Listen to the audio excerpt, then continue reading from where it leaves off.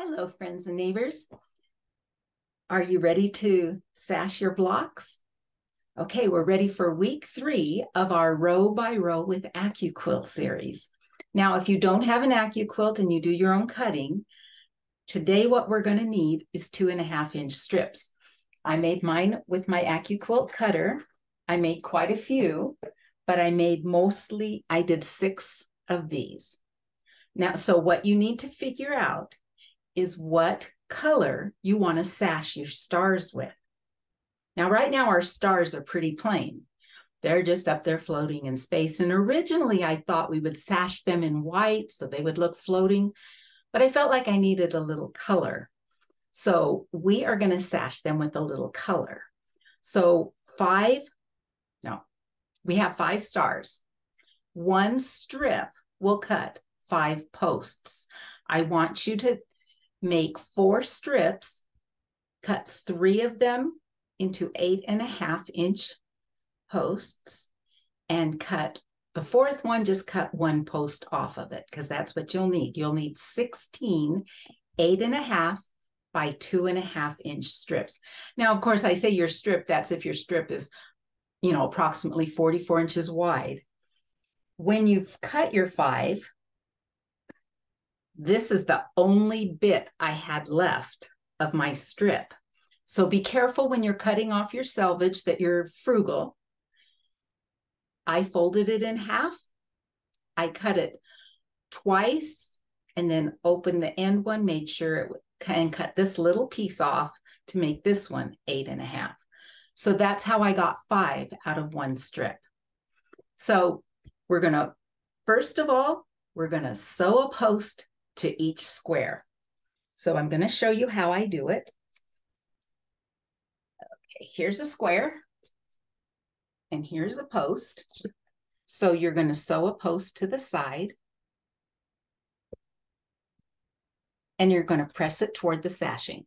This is the sashing post. So you're going to press toward the sash. The next step is now, because I cut a lot of the value die with my fabrics, I have a whole bunch of two and a half inch squares. Now, if you want to cut a strip from one of your colors and cut all the same, cut two and a half inch squares. If you want to um, vary them like I did, then cut one or two off of each. But of these, we're going to need, let me see, two, four, six, eight, yeah, 12. We're going to need 12 because we need two for each block that we're doing and then two on the end. So we'll need 12 squares, two and a half inch squares.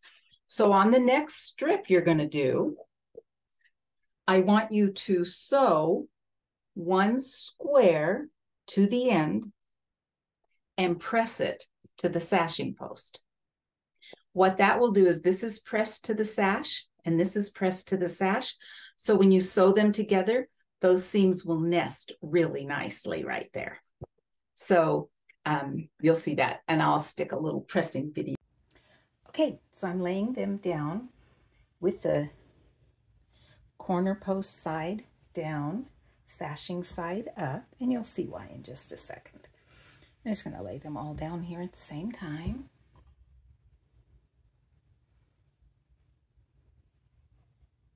And that yellow one is bright. And I'm going to give them a spritz of my sewing water.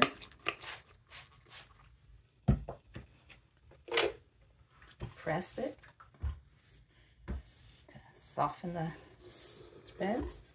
And then just roll this up so I keep the seam going in the direction of the sashing strip.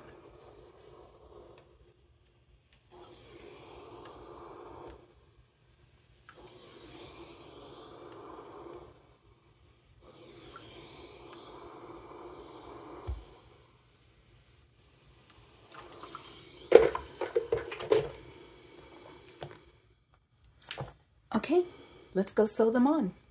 The next one is to do the exact same thing. So you could just as well when you sat down done 10 of these because we want two of this particular combination for each block. So, okay, the next one, we've sewn it to the square. We're going to pretend. Okay, so that's sewn. Press to the sash, press to the sash. We're going to sew this together. So then these will nest because they're both pressed to the sash. Sash, yeah. so you want to have five of these. So you can pause this now and do your five. And then what you'll have is what I'm going to put up now. The strip of stars, the row of stars without an end piece.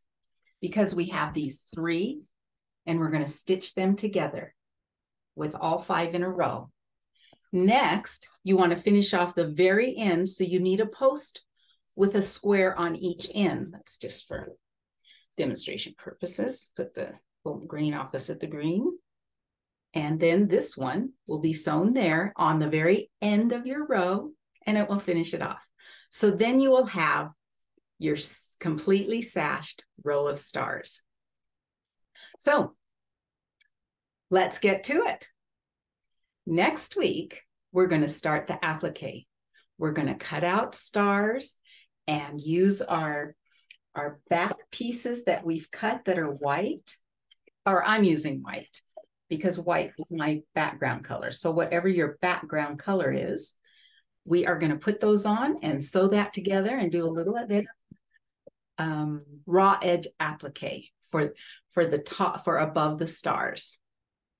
So that's going to be our lesson for next week.